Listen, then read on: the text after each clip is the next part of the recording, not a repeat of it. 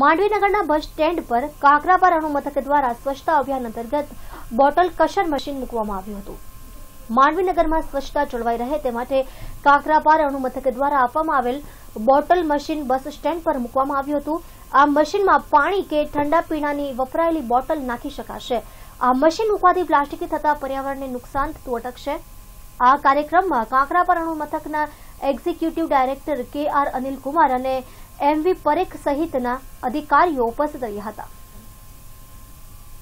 Bottle classic મશીનના લોકાર્પણ સમારંભમાં કમલમાં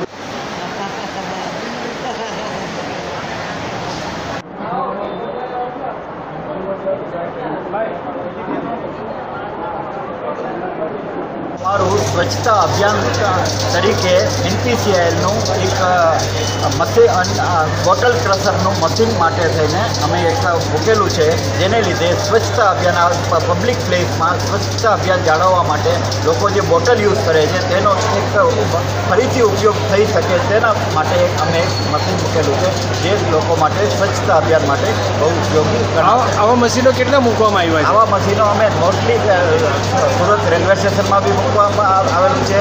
અને વ્યારા બસ સ્ટેન્ડમાં મૂકવામાં આવેલું છે અહીં માંડવી બસ સ્ટેન્ડમાં બી અહીં મૂકવામાં આવેલું છે.